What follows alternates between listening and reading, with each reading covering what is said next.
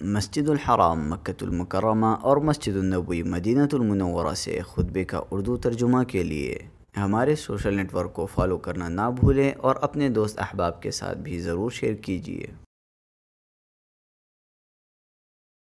खुतब जुमा मस्जिद हराम बतारीख आठ शाबान चौदह सौ तैतालीस हिजरी बमुताबिक ग्यारह मार्च दो हज़ार बाईस ईस्वी बनवान कुरान करीम अजमत व मकासद ख़तीब फजीलतुल्शेख डॉक्टर अब्दुल्ला जोहनी तर्जमा व आवाज़ सनाउल्ला सादिक में। हर किस्म की तारीफ़ अल्लाह के लिए है, जो ज़बरदस्त बहुत अता करने वाला शाहों का शाह और अब्बुल अरबाब है। उसी ने अपने बंदे पर किताब उतारी, जो साहिबान अक्ल के लिए हिदायत व नसीहत है, और इसके अंदर नफ़ा बख्श, उलूम और हतमी दलाइल रखे हैं, जो इंतहाई दर्जे की हमत और फैसला कन बात हैं। और दुरुद सलाम नाजिल हो हमारे सरदार और नबी मोहम्मद पर, जो हमारे पास कुरान अजीम आयात और ज़िक्र हकीम लेकर आए। और अल्लाह की राह में कमा हक जिहाद किया। आप जंग, कताल और जिहाद करने वालों में सबसे अच्छे थे। दुर्द सलाम हो आप पर, आपकी आल पर और आपके सहाबा तमाम पर और ताक़यामत बहुत ज़्यादा सलामती हो। अम्माबाद ए लोगो, अल्लाह का तकवा इख्तियार करो। बिलाशुबा उसका तकवा सबसे फ़ायदा मंद तिजारत और सामान है और उसकी नाफरमानी से बचो। बिलाशुबा वो बंदा नाकाम हुआ जिसने अपने रब के हुक्म में कोताही की और उसे ज़ाय किया। और तुम लोग उन चीज़ों को लाजिम पकड़ो जिन पर तुम्हारे असलाफ और जमात कायम थी। उनके तरीक़े और अकीदा व अमल और समोतात में जिस मनहज पर वो कायम थे उसे ले लो और जुल्म से बचो। इसलिए कि बिलाशुबा जुल्म बाईस शर्मिंदगी, जहन्नम और शनात है। अल्लाह के बंदो, अल्लाह ने कुरान करीम को बुलंद मकासद और अजीम हमतों के लिए उतारा। ये मखलूक की असलाह के लिए खालिक का मनहज है। उसके उतारे जाने के हम तरीन मकासद में से यह है कि यह नफ्सों की तहजीब, दिलों की असलाह तबीयतों की दुरुस्तगी और सिरात मुस्तकीम की तरफ़ लोगों की लोगों की रहनुमाई का ज़रिया हो। और ये कि ये नबी सल्लल्लाहु अलैहि वसल्लम ने अपने रब की तरफ़ से जो दीन पहुँचाया है, उसके लिए दिनों रात के तसलसल के साथ नाकाबिल तरदीद हजत वाज बुरहान और महसूस दलील हो। कुरान करीम में गौर करने वाला पाता है कि कुरान करीम ज़िंदगी के तमाम तकाजों इंसानों की तमाम ज़रूरतों और इंसानों को दीनों दुनिया और आखिरत में शाद काम करने वाली तमाम चीज़ों को मुहित है। यूँ कुरान ने इंसानों के लिए भलाई के हर एक रास्ते को बयान किया है, उसकी तरफ़ रहनुमाई की है और बुराई के हर एक रास्ते पर चलने से मना किया और डराया है और वो उन चीज़ों पर मुश्तमिल है जिनके, जो उनके अकायद अखलाक मामलात और तमाम उमूर की असलाह करे।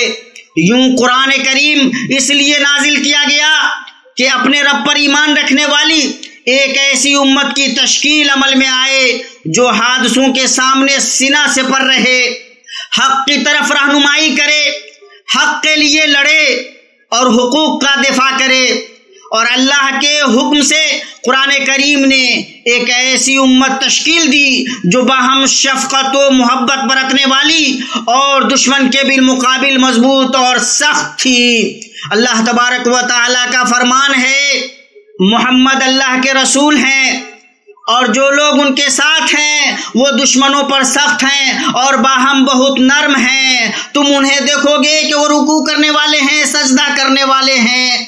ये अजीम उम्मत इलाही कुदरत की निशानियों में से एक निशानी थी। अल्लाह के हुक्म से जब तक उसने चाहा परवान चढ़ी और ज़मीन में जब तक उसने चाहा चली, उसने इंसानियत के लिए पाको शफाफ अकीदा, दुरुस्त तस्वर और ऐसे अकदारों में आरात मुकर्र किए जिनसे अदल अमन और इस्तेहकाम हासिल हुआ। और अल्लाह के हुक्म से ये कुरान करीम आज भी इस बात पर कादिर है कि उस अजीम उम्मत के जैसी उम्मत तश्कील दे, लेकिन उसके लिए ज़रूरी है कि इस उम्मत के जवान मज़बूत ईमान, अल्लाह पर भरोसा सिर्फ़ अल्लाह की रस्सी को मजबूती से थामने, अल्लाह की तकदीर पर ईमान और अल्लाह के वादा वईद की तस्दीक की राह पर उसी तरह चल रहे हों, जिस तरह उनके असलाफ गामजन थे। यही वो मानवी फ़जाइल हैं, जो नबी सल्लल्लाहु अलैहि वसल्लम आपके असहाब और कुरून मुफज़ला के अखलाक थे। और आप सल्लल्लाहु अलैहि वसल्लम की हिफाजत और आप और अल्लाह आपकी हिफाजत करे। अगर यही सूरत किसी मोमिन इंसान के दिल में बैठ जाए तो वो तमाम हादसों और तमाम दुश्मनों के सामने डट जाएगा। आप सल्लल्लाहु अलैहि वसल्लम ने इब्ने अब्बास रज़ी अल्लाह से फरमाया, अल्लाह के हुकूक की हिफाजत कर, अल्लाह तेरी हिफाजत करेगा। अल्लाह के हुकूक की हिफाजत कर, तू उसे अपने सामने पाएगा। जब मांग तो अल्लाह से मांग, और जब मदद तलब कर तो अल्लाह से मदद तलब कर। और जान ले कि अगर सारे लोग इकट्ठे हो जाएँ कि तुम्हें फ़ायदा पहुंचाएँ तो वो तुम्हें फ़ायदा नहीं पहुँचा सकते। सिवाय उस फ़ायदे के जिसे अल्लाह ने तुम्हारे लिए लिख दिया है। अगर, और अगर वो इकट्ठे हो जाएँ कि तुम्हें नुकसान पहुंचाएँ तो तुम्हें नुकसान नहीं पहुँचा सकते। सिवाय उस नुकसान के जो अल्लाह ने तुम्हारे ऊपर लिख दिया है। कलम उठा लिए गए और सहीफे खुश हो गए। इसे इमाम अहमद ने अपनी मुस्मद ने रवायत किया है और इमाम तिरविजी ने रवायत किया है और कहा है कि यह हदीस हसन सही है। मुसलमानों, मुसलमान अपने मादी हाल और मुस्तकबिल में जिस अजीम तरीन चीज़ पर फख्र कर सकते हैं और जो सबसे ज़्यादा इसका मुस्तक है कि उस पर मुसलमान अपनी ज़िंदगी का मनहज कायम करें, वो अल्लाह की किताब है। और अल्लाह की किताब की खिदमत से हसूल इज़्ज़त के रास्ते खुले हुए हमवार हैं, उन्हें आवाज़ दे रहे हैं, जिनके दिल से इखलास, सवाब की उम्मीद और दीनों दुनिया की मज़ीद भलाइयों की तलब से भरे हुए हैं। और अल्लाह ताला ने इस कुरान अजीम के तहफ़ की ज़मानत ली है। अल्लाह तबारक व ताली का फरमान है, हमने इस कुरान करीम को नाजिल किया है और हम ही इसके मुहाफ़ हैं। और और अल्लाह ने अपने बंदों के लिए उसका सीनों, दिलों और सुतूर में महफूज करना आसान कर दिया है। और हर किस्म की तारीफ़ अल्लाह रब्बुल आलमीन के लिए है। ममलकत सऊदी अरब की जलालतुल मलिक अब्दुल अज़ीज़ बिन अब्दुलरहमान फैसल तैयब अल्लाह सराहू के हाथों तासीस, उनके बाद उनके नेकोकार बेटों रहम अल्लाह बेफैज़ रहमत ही वस्कन आरिदा जन्नाती से लेकर खादिम हरमैन शरीफैन शाह सलमान बिन अब्दुल अज़ीज़ हफिज़ल्लाह और उनके अमीन वली हैद नसरल्लाह तक, उनके अजीम कारनामों में से हिफ्ज़ तिलावत और तदब्बर तफक्र के साथ कुरान करीम और सुन्नत रसूल सल्लल्लाहु अलैहि वसल्लम पर तवज्जो मबजूल करना है। कुरान करीम पर तवज्जो की मुतद राहें रही हैं, जिनमें इनामात और मुकाबलों का इनका शामिल है। जैसे बच्चों के लिए, खादिम, बच्चे बच्चियों के लिए, खादिम हरमैन शरीफैन Shah Salman bin Abdul Aziz ward बरा हिफ्ज़ कुरान, तिलावत और तफसीर, जिसका तेईसवां दौर वजारत बरए उम्र इस्लामिया, दावत और इर्शाद के कामयाब इंतज़ाम में इस साल शुरू हो चुका है। और ये ज़बरदस्त कोशिशें उन इसबाब में से हैं जो जवानों को अल्लाह के किताब के हिफ्स पर उभार उभारते हैं। एक ऐसे ज़माने में जिसमें हिम्मतें कमज़ोर पड़ गई हैं और जहन मुंतशिर करने वाली चीज़ों की कसरत है और ये वो चीज़ है जिस पर मुसलमान ला इलाहा मोहम्मद रसूलुल्लाह के झंडा तले अमन इस्तेहकाम और खुशहाली से मामूर इस मुल्क में नाजा होता और फ़ख्र करता है। अल्लाह ताला खादिम हरमैन शरीफैन और उनके वली अहद को बेहतर बदला दे और इस्लाम और मुसलमानों के लिए वो जो कोशिश पेश कर रहे हैं, उन्हें उनकी मिदान हसनात में जगा दे। जिस दिन न माल कमाएगा और न औलाद फ़ायदा पहुंचाएगी और फ़ायदा उसी को मिलेगा, जो ऐब बेऐब दिल लेकर जाए, मैं अल्लाह से शिरकत करने वालों के लिए तोफ़ी को कामरानी की दुआ करता हूँ। ये चंद जवान हैं जो अपने रब पर ईमान लाए और हमने उनकी हिदायत में तरक्की दी। और अल्लाह तबारक व का फरमान है, यकीनन ये कुरान वो रास्ता दिखाता है जो बहुत ही सीधा है। और ईमान वालों को जो नेक अमाल करते हैं, इस बात की खुशखबरी देता है कि उनके लिए बहुत बड़ा अजर है। अल्लाह मुझे और आपको कुरान करीम में बरकत से नवाजे। और उसमें जो आयात और ज़िक्र हकीम है, उनसे हमें और मुझे मुझे और आपको फ़ायदा पहुँचाए। मैं आपके लिए, अपने लिए और बकिया तमाम मुसलमानों के लिए हर तरह के गुनाह से मफ़रत तलब करता हूँ और अल्लाह की जनाब में तोबा करता हूँ। आप भी तोबा कीजिए बिलाशुबा अल्लाह बहुत बख्शने वाला, मेहरबान है।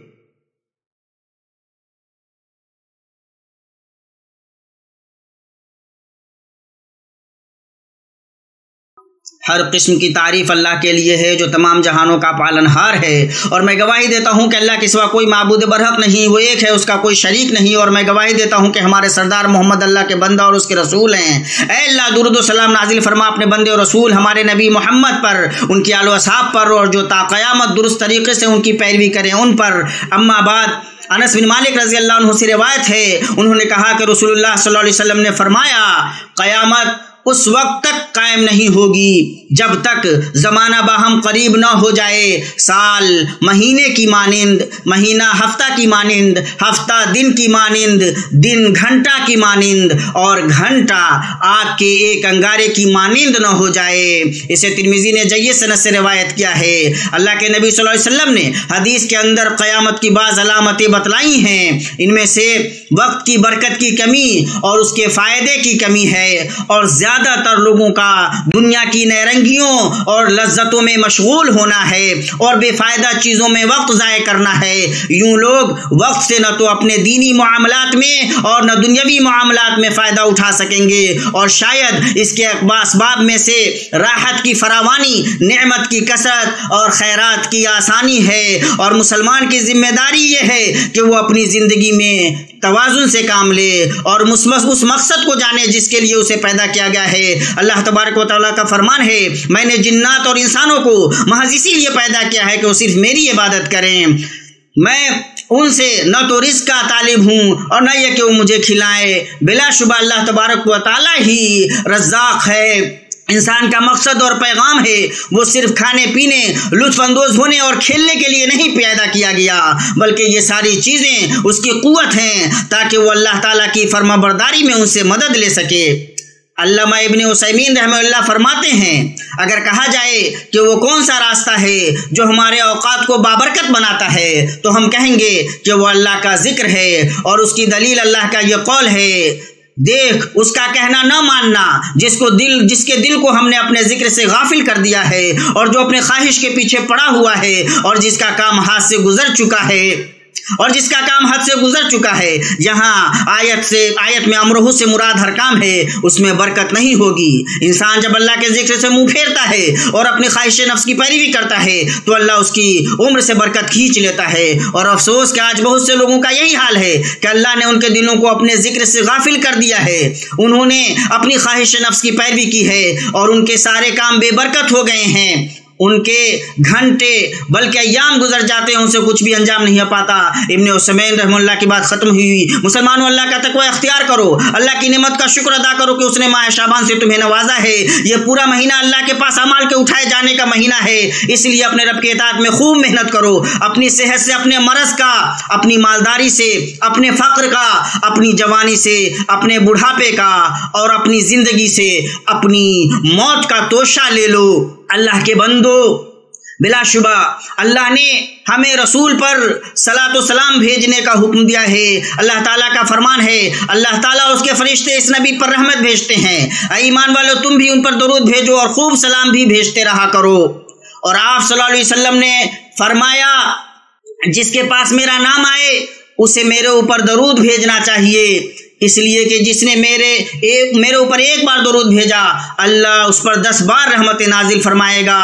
अल्लाह अल्लाह, दरूद सलाम नाजिल फरमा अपने बंदे और रसूल, हमारे नबी मोहम्मद, और अल्लाह मोहम्मद पर, और अल्लाह तू राज़ी हो जा चारों खुलफा, अबू बकर, उमर, उस्मान, और अली से, और बकिया, तमाम सहाबा से, और आपके पाक अहले बैत से, और ताबीन से और ता क़यामत जो दुरुस्त तरीके से उनकी पैरवी करे, उनसे और अपने एहसान करम से हमसे भी राज़ी हो जा।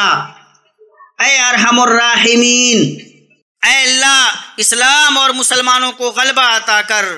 अल्लाह इस्लाम और मुसलमानों को गलबा अता कर। अल्लाह इस्लाम और मुसलमानों को गलबा अता कर। अल्लाह हमारे इस मुल्क में खुशहाली दे। अल्लाह अल्लाह तू हमें बख्श दे अल्लाह हमें और हमारे मरीज़ों को और अल्लाह मुसलमानों के मरीज़ों को शिफा दे अल्लाह जो सरहदों पे तयनत हैं अल्लाह तो उनकी मदद फरमा अल्लाह अल्लाह दुश्मनों के मुकाबले में उनकी मदद फरमा अल्लाह खादिम हरमशन शरीफैन और उनके वली अहद को उसकी तोफीक दे जो तू चाहता है अल्लाह उन्हें तकवा की राह पर चला अल्लाह तमाम मुसलमानों के सरबराहों को खैर पर अमल करने की तोफीक दे। अल्लाह अल्लाह, बारिश बरसा। अल्लाह और हमें नौमीदों में से ना कर। अल्लाह अल्लाह, हमारी मदद फरमा और बारिश बरसा। अल्लाह, हमने अपने ऊपर बहुत ज़्यादा जुल्म किया है और अगर तू हम पे रहम न फरमाएगा तो हम नुकसान उठाने वालों में से हो जाएँगे। अल्लाह, हमें दुनिया में भी भलाई दे और आखिरत में भी भलाई दे और जहन्नम के अजाब से बचा। अल्लाह के बंदो, अल्लाह तबारक वाली तुम्हें आदल का, एहसान का और कराबरदारों को देने का हुक्म देता है और फहशा से, मुनकर से और बगी से रोकता है। तुम्हें वो नसीहत कर रहा है ताकि तुम नसीहत हासिल करो। अल्लाह तबारक वाली को याद करो, अल्लाह तुम्हें याद करेगा। उसकी नेमतों पर उसका शुक्र अदा करो। अल्लाह तबारक तबारक वाली तुम्हें मजीद नवाजेगा। और याद रखो कि अल्लाह का ज़िक्र सबसे बड़ा है और अल्लाह तबारक वाली जानता है जो तुम करते हो।